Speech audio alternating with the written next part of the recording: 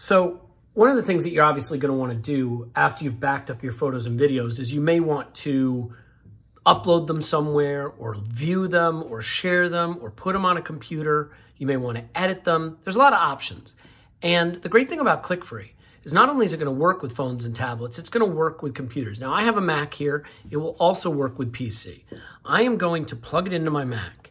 And one of the really neat things that I love is that there is a dedicated Mac app and PC app. So now the ClickFree is there. Normally you'd have to click on that, figure out what to do all on your own. But you don't have to do that here because there is the ClickFree Mac app ready to run. And my options are easy. I can transfer all my files from the ClickFree to the Mac with one click. I can back up all my photos and videos to the ClickFree. So I can actually back up my whole Mac to the ClickFree.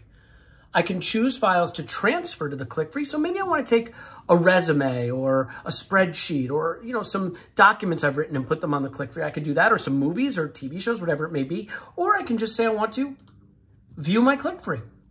And when I view my ClickFree, I can see all those pictures that are on the ClickFree, like that picture of the cup from earlier. Of course, if I want to just transfer everything from the ClickFree to the Mac, it asks me where I want to put it. I say transfer.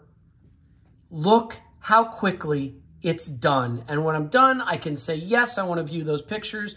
There they are, my whole backup, ready to go. There's also things like help and chat support right in the app. So whether you're using it on mobile devices or whether you're using it on any computer you have, there's software to make it simple and easy to back up.